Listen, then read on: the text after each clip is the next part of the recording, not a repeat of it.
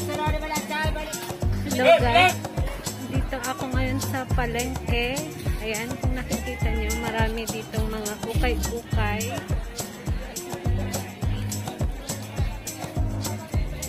Kasi market day ngayon dito sa amin.